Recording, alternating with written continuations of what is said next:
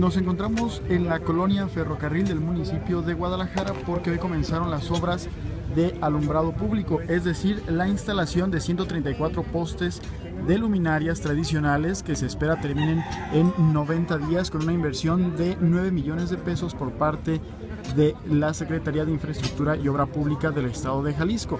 Además, el próximo 26 de diciembre iniciarán las obras por parte del CIAPA con la instalación de la red de alcantarillado y agua pública que se prevé terminen en cuatro meses con una inversión de 15 millones de pesos. Estamos observando los trabajos que se están realizando ya sobre esta que es la calle 2 al cruce con la calle 1. Vamos a acercarnos con pobladores de esta colonia. Hola, ¿qué tal señora? ¿Cuál es su nombre? Marta González.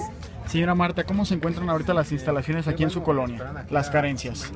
Hay muchas, hay muchas este, carencias, hay muchas, solamente tenemos agua, alumbrado no tenemos, pavimentación no tenemos, este servicio de, de policía y todo eso, pues la verdad no, no hay.